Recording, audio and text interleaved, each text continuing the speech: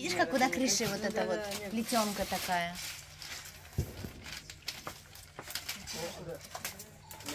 То, что у нас шинглас, металлочерепица. Ну, тут тоже черепичные крыши есть. Это, я так понимаю, традиционная такая, как у нас там, дранка на крыше.